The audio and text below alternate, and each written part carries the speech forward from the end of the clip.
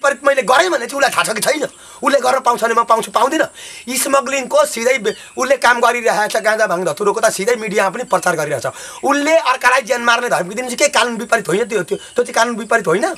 कि कानुन विपरीत हो कि होइन ज्यान मार्ने धम्की दिने अरूले होइन नि प्रभु कानुनका विपरीत यदि सरकारले उसलाई नियन्त्रण गर्दैन हामीहरू यत्रो निवेदन गर्दाखेरि यत्रो सार्वजनिकमा मिडियामा भाइरल भएर उसले चाहिँ यत्रो मान्छे तपाईँको फेसिलिटी त सबैले उसलाई स्ट्यान्डर्ड क्लासमा लैजान खोजिरहेका मान्छेले यदि मान्छे मार्छु भनेर धम्की दिन्छन् के त्यो चाहिँ कानुन विपरीत होइन र उसले मार्छ मार्नलाई कानुन विपरीत दिन्छ भनेदेखि त हामी त नारी होस् कि पुरुष होस् सजाय दिने उसलाई अर्को खेपदेखि फेरि गर्दैन अर्काले र सार्वजनिक नाङ्गो भिडियो बनाएर दुईजना कि हालिदिन्छु भएन भने यहीँ क्यामेराबाट पनि त्यो आइमाईको पनि।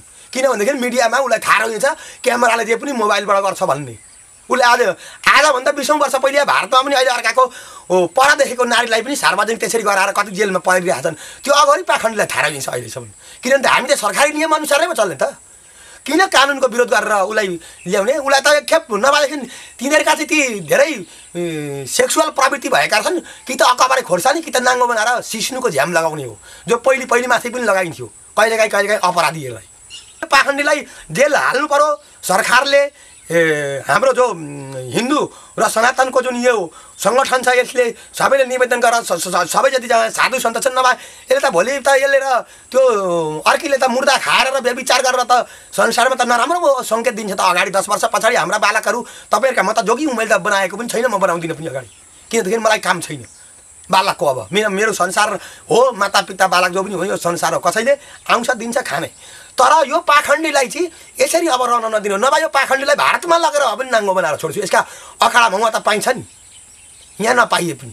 किनभनेदेखि नभए नाङ्गो साधु त अहिले नाङ्गो भएर पनि हिँडिरहेका छन् त प्रदर्शन गरेर। किन यहाँ यो बजियाले हो भनेदेखि नभएदेखि यहाँ अखाडा पनि आएर नागा बाबाहरू तपाईँको कुम्भ मेलामा आएर हिँडेका हुन्छन्। उनीहरूका नियम र सीमा पो हुन्छन् त।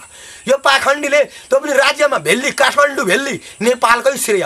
अनि नेपालकै श्रेय मात्रै नभएर विश्वको पूजन पुज्ने विश्वकाले पुज्ने जुन मन्दिर छ पशुपतिनाथ बाबा भोले बाबा जसै सबैले अहिले पनि चाहे अहिले जुनसुकै राज्य भए पनि उसलाई सबैले मानिराखेको छ।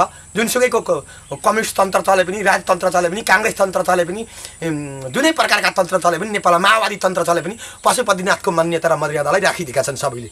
नेताहरूले पनि। त्यत्रो द्वन्द्वकालमा चल्ने बाह्र चौध कति वर्षसम्म प्रचण्डज्यूलाई चिन्न सकेन तर आएर पनि उहाँले पनि त्यसको तपाईँको बाहिर यहाँ मन्त्री भएपछि उहाँले त्यसको मान्यता गर्नलाई र गाँजा हटाउनलाई धेरै प्रोसेस गर्नुभयो। तर उहाँलाई चाहिँ उहाँले पनि केही बुझ्नु भएको थिएन। अनि सक्नु भएन यो कामलाई।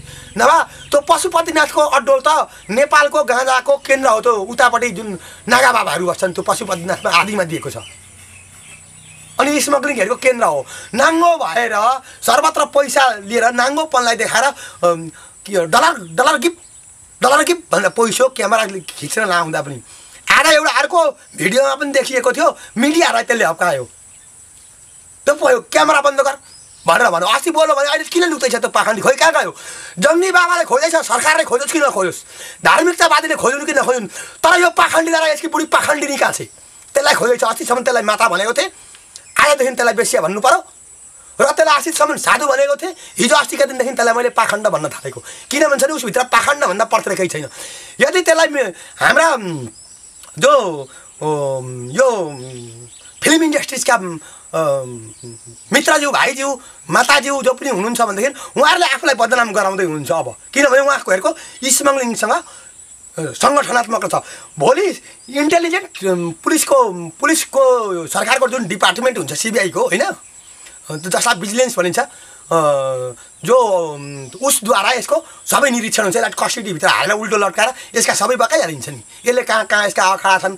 यसलाई त्यो त्यो पाइलट एउटाले यसलाई गर्दैछ। यो पाइलटसँग सम्बन्ध भएर उसलाई प्रोसेस गर्दैछ। यसले त्यसैले भित्र र बाहिर ल्याउने काम पनि गर्दैछ त्यो पाइलटले। नभए बार बार किन अस्ति पारसजीहरू पनि बार बार विदेशमा गएर पनि फँसे? भित्ति आफ्नो भित्तिपन आफूले खाने पनि बाहिर लगेर अर्कालाई प्रकट गर्दैनौ। कि आफ्नै स्वास्नी बाहिर गर्नु? सार्वजनिक सबैलाई। कसले गर्छ? कोही छ? यसले आफ्नै स्वास्नीलाई मसान घाटमा सार्वजनिक गरौँ। र मसान खानेसँग सुती अनि ऊ पनि मसान खाने भई।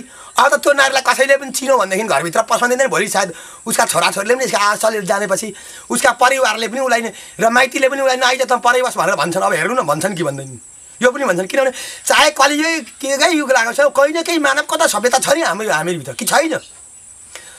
यो मजिया पाखण्डी मानवको सभ्यता पनि नभएको। जसभित्र शिक्षा छैनन् जसभित्र विद्या छैनन् जसभित्र कल्प छैनन् जसभित्र व्याकरणका केही छैनन् अघोर र अघोरीलाई रडरीले म व्याकरण आदि गर्छु भने भन्छ एउटा शब्दको दसवटा व्याकरण शब्द लाग्छ अर्थ। त्यो पनि छैन यसभित्र। यसले कसरी हाम्रो देशमा आएर मुर्दा खानेले कसरी आएर यत्रो अपमान र नारीहरूलाई गरेर त्यत्रो पशुपतिनाथ बाबाको भोले मन बाबाको मन्दिरमा टोइलेट पिसाब गरिदिन्छु भनेर भन्यो यसले। के त्यसको त्यो हो? त्यसले देखो कि त्यसले गर्न सक्छ यहाँ आएर यो यहाँ पाथिभरा माताको मन्दिर हुन्छ। पाखण्डी यहाँ आएर देखा तैँले बोलेर यतिको साह्रो चाहिँ आज सरकारले छोडेको होला भोलि। तँलाई यहाँ सरकारकै सरकारी मान्छेकै छेउमा निमठी छोडिदियो त पाखण्डीलाई चाहिँ अब मैले खोज्दैछु। मेरो त्रिकालको सेना कुद्दैछ तँलाई खोज्नलाई